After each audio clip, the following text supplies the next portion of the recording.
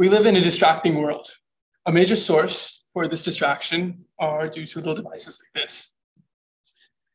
I attend Stanford Online High School, and as such, I am very familiar with the problems that this distraction poses for our learning environment. This is why I believe that uh, to be an effective student tutor in our modern world, we must figure out ways to mitigate this problem of distraction. My name is Rathan Muruganantham, and as I mentioned, I am a student tutor at the OHS. I, we're a cross-discipline tutoring center, so I tutor the subjects math and philosophy. This is my presentation on experiential tutoring. It's a method tutors can use to encourage active tutoring styles that effectively respond to the distractions of the virtual medium. In this presentation, I will further elaborate problems that of distraction that digital devices pose to learning environment. I will describe how experiential tutoring can be a solution that addresses these problems. And I will showcase a sample application of experiential tutoring to further familiarize ourselves with this concept. Beginning with a better description of the problem of distraction. As I'm sure you guys are familiar with, our virtual world is not the best place to focus. You could get a notification from a social media website, or you could get a really important email that distracts your attention, or a video could call your name. In all these ways, the distractions of our world distract us from being able to focus on our tutoring sessions. So to be an effective tutor, we must figure out how to engage the tutees in a way in which avoids falling into these distractions. Normal passive approaches to tutoring, and by this I mean maybe a presentation or some textbook excerpts or some notes. All these methods don't address this problem of distraction. The tutees can lose interest when you try to implement these ways of tutoring. We must instead look for a more active method of tutoring that effectively engages them. To figure out the solution to this problem, we first must need to take a step back. Let's look at experiential learning in the classroom. Experiential learning is a well-documented practice, and it finds great success. It's a method that tutors, that, sorry, that teachers can use to increase participation, which results in increased engagement, which results ultimately in better comprehension, which is the ultimate goal of any learning environment. Why can't we apply these same principles to our tutoring to accomplish the success that experiential teaching has in the classroom? This is what I term as experiential tutoring. I think the best way for me to introduce this concept is through a sample application. This is from my philosophy course that I tutor. And in this course, this unit covered Aristotelian biology. Specifically, we were talking about how Aristotle went about describing the animals that he was sorry, that he was uh, documenting and how that was different from his predecessors and how what it ended up contributing to the general field of biology. Now, all of these answers were given in the textbook, so we could have adopted a more orthodox passive tutoring approach that could have just taken some textbook excerpts, put a presentation together, um, maybe some video links. However, as I mentioned before, these passive approaches fail to the distractions of our gadgets. So instead, I decided to play a game of Pictionary. what we decided to do is I gave a written description of these animals as described by Aristotle, so a verbatim description translated from Aristotle's works to a presenter. Now the presenters, they were tasked with drawing the animal as Aristotle had described it. As they were drawing this animal, the rest of us attempted to guess exactly what they were trying to draw. Now, as you can see, we had some very talented artists in this section. So we guessed that it was a chameleon quite quickly. after we guessed that it was a chameleon, I took the written description that I had given to the presenter and gave to the rest of the class. And together we discussed exactly how Aristotle was going about describing these animals. We did this using the visual material that the students themselves had generated. This allowed us to get a very intuitive understanding of the mechanics of Aristotelian biology. This also situated us in a good place to discuss the questions of how this was different than previous methods of describing animals and what it ended up contributing to the total study of biology, answering all the questions that the textbook had aimed to answer. So in this way, we covered exactly what needed to be covered. However, by doing it in this manner, using a hands-on approach, we were able to gain this deep intuitive understanding. And we did this by using experiential tutoring methods, which made the concept fun. I want to try something with you guys. Sorry.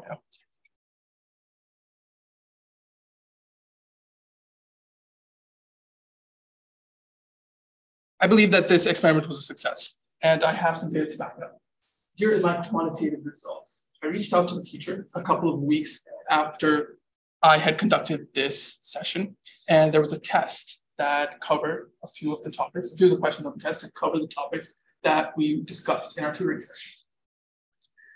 I contrasted the number of correct answers that my section that had taken an experiential approach had gotten compared to a section that did not take an experiential approach.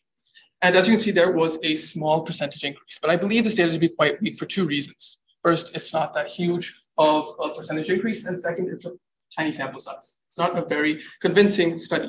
That's why I think that the qualitative data is a lot more powerful. Here are some student text responses from my tutoring session. As you can see, everyone was having fun. We all enjoyed the session immensely. And in this way, we engaged all the students, even those who are struggling. I would like to talk about this for a second. Experiential tutoring allows us to engage every single tutee, regardless of how well they comprehend the material. Even a tutee who's struggling to understand what's going on is able to get wrapped up in the way in which we are introducing the subject due to the fact that it's being reduced to a more understandable level. And by doing this, we mitigate the problems of distraction by keeping everyone actively engaged. Now, I want to try something with you guys. I have some handouts here. Now, on the back of the handout is a short written description of an abstract object. I want you guys to begin reading through this description and as you do so, make note of any visual details that strikes you. Create a mental image of what you expect to see once you peel that sticky note. Don't peel it yet though.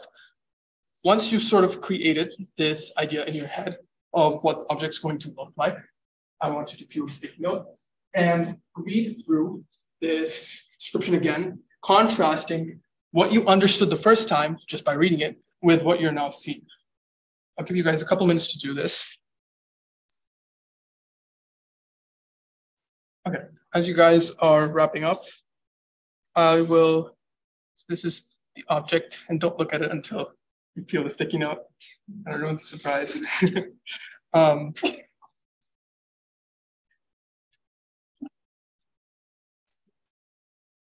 Okay, so the metaphor I'm trying to draw here is that this object, the object that was described, represents some complex phenomena. Now, in this activity, it's this contraption. However, in a tutoring environment, it's some mathematical concept or some literary device that the student is struggling to comprehend. It could be anything that um, the tutor is not familiar with. The way in which the tutor goes about trying to introduce this complex and initially ununderstood subject is very important. The tutor must do it correctly or it risks losing the effectivity of the writing center. There are two approaches in front of you. The first is a more passive approach, paralleled by the handout. Sorry, paralleled by the written description on the back of your handout. Just by reading this, it is difficult to imagine the object because of the lack of interest that or the lack of engagement that that, that description has when you're reading it.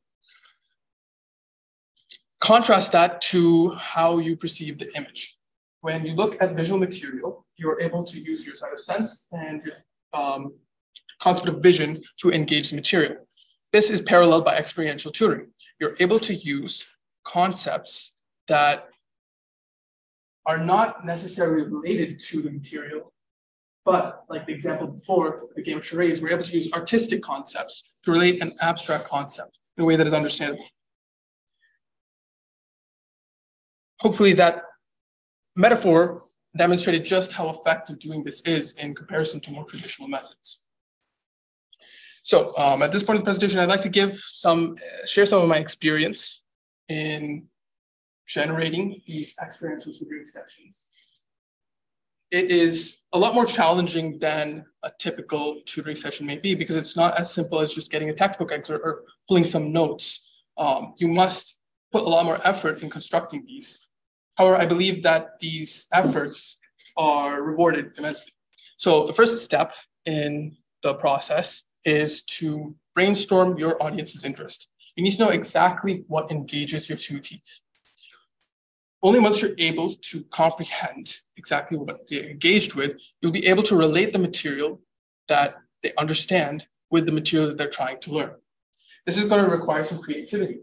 Um, as I showed before, a game of charades could be used, or maybe some news clippings for a tutee that is more politically inclined.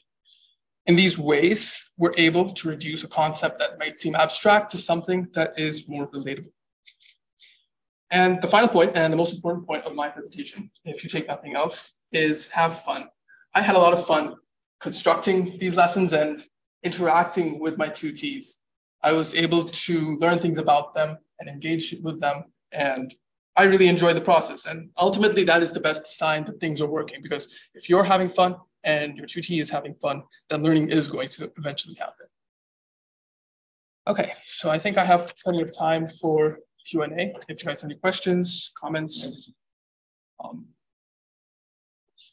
yeah, I'm gonna just turn the webcam so the mic can hear you. How would you use experiment? We could use it. Uh, let's take. You want to repeat the question in case the mic didn't pick it up? Yep. Here, I'll turn it to Okay. um, I believe what was asked was how would you apply methods of experiential tutoring to maybe more STEM based, like math, for example, um, courses? Um, I think I might cheat a little bit here. I'll use geometry because it's a little bit more applied. Um, but if you have maybe a geometry course, you can relate maybe a triangle to some real world equivalent. You could use some experiment where you prove that a squared plus b squared equals c squared. In those ways where you're able to relate this abstract to it's just that act of trying to relate an abstract concept to something concrete. And for this project do you usually do it in more of a like a group setting or is it kind of individual person this particular showcase obviously was in a group setting because it allowed me to collect data um, a good amount of data to be able to showcase exactly the effects of it.